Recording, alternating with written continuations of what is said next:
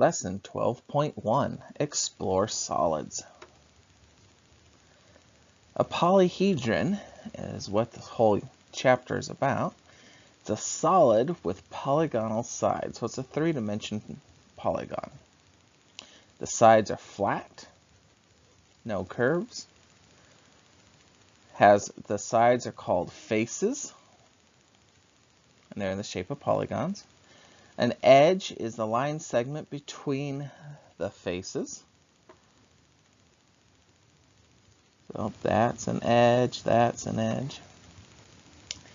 Vertex is one of the corners. So that's a vertex, that's a vertex, that's a vertex.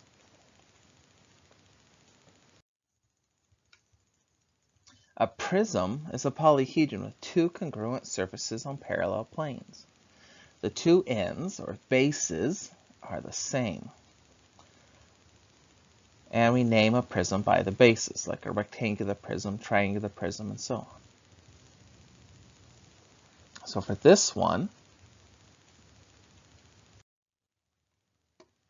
it, the base would be the top and the bottom. And it is one, two, three, four, five, six, seven, eight, eight sides. So that means this is an octagonal prism. Octagonal prism.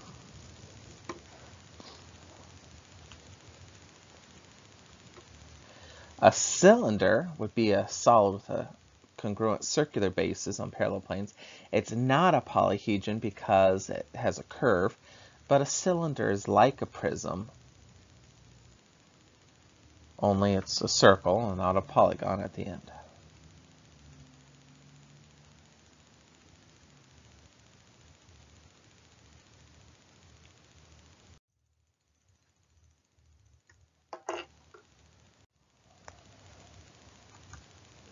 A pyramid is a polyhedron with all but one face intersecting in a point.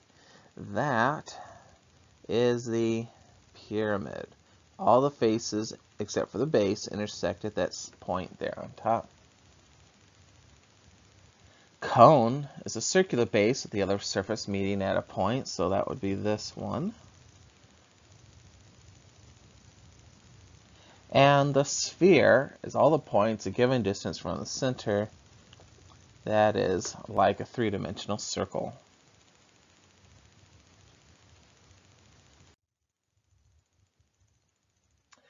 Euler's theorem, I know it looks like Euler, but it's pronounced Euler. Euler's theorem, the number of faces, vertices, and edges of a polyhedron are related by faces plus vertices equals edges plus 2. Convex. Any two points can be connected by a segment completely inside the polyhedron. Like on there, if I pick uh, two points, say that one and that one and one down here. That's all inside. Uh, concave is not convex. It has a cave. See here, that's an indentation.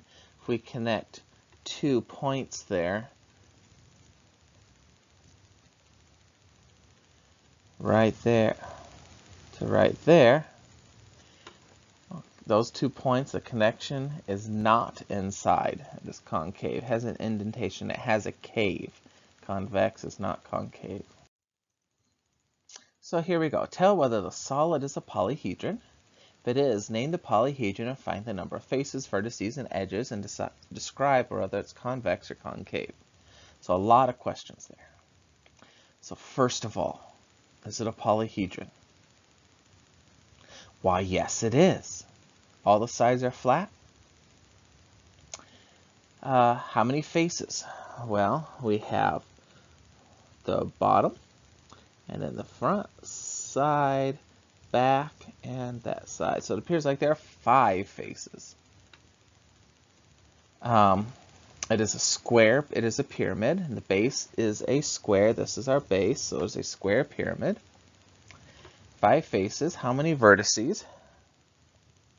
There's one, two, three, four, five vertices. And how many edges? One, two, three, four, five, six, seven, eight edges. Hey, does that fit Euler's theorem? Faces plus vertices equals edges plus 2. So I have um, 5 plus 5, faces plus vertices equals edges plus 2. Does that work? 10 equals 10? Yep, it does. Now, is it convex or concave? Convex, you say? You're correct.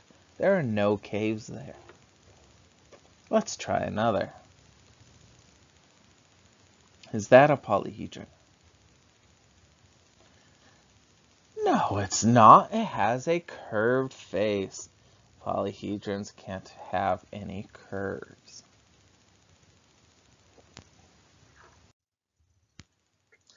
Try another one. Is it a polyhedron? You're correct. Yes, it is a polyhedron. Now, how many, uh, what type is it?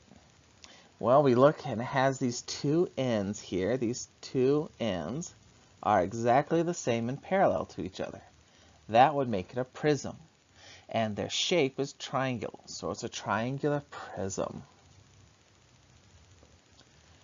All right, how many faces? There's the front, the back, the side, the bottom, and this top slanted. So it looks like five faces. How many vertices? There's one, two, three, four, five, six vertices. How many edges? One, two, three, four, five, six, seven, eight, nine. Nine edges. Does that fit Euler's theorem? Faces plus vertices equals edges plus 2. So that's 11 equals 11. So hey, it works. And is it convex or concave? That's right, convex. There are no caves.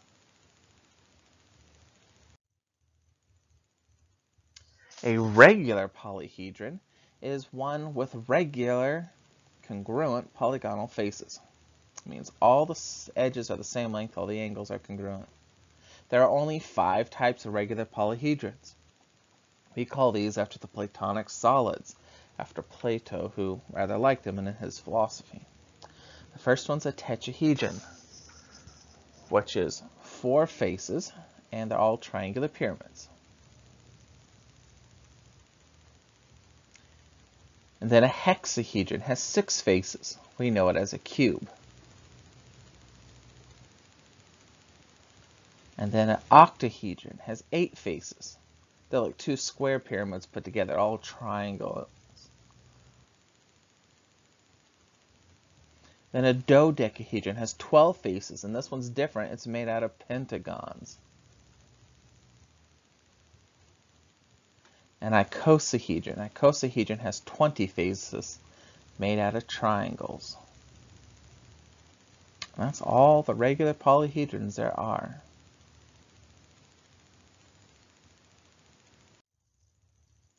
Find the number of faces, vertices, and edges of this regular dodecahedron. Check it with Euler's theorem. Well, let's start with faces. I've got the front, each of these sides. And then we have the next layer back that we can kind of see. So this is like 7, 8, 9, 10, 11 and the far back makes 12. Oh, wait, it was a dodecahedron, which means 12-sided. So yes, there are 12 faces. All right, let's erase the faces, and then let's check for vertices. So there's one, two, three, four, five, six, seven, eight, nine, 10, 11, 12, 13, 14, 15, 16, 17, 18, 19, 20. So I get 20 vertices. All right, let's try edges. It's one, two, three, four, five, 6, 7, 8, 9, 10, 11, 12, 13, 14, 15, 16, 17, 18, 19, 20, 21, 22, 23, 24, 25, 26, 27, 28, 29, 30. I got 30 edges. So let's see, does that work with Euler's theorem? Faces plus vertices equals edges plus 2. So plug in the 12 faces, 20 vertices, and 30 edges, and you get this. So on the left it is 32. On the right it's 32. Yes, it works. It checks. Yay!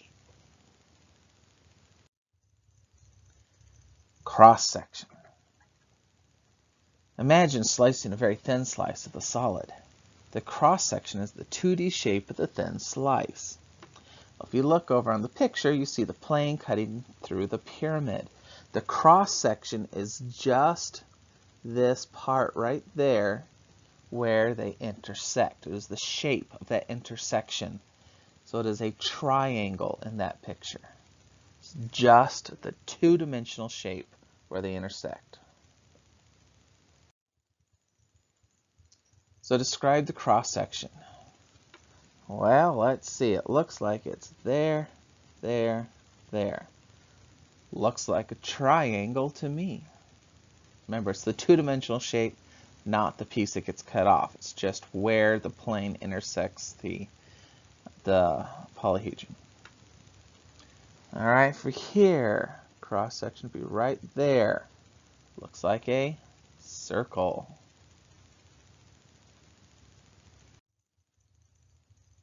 How about this one?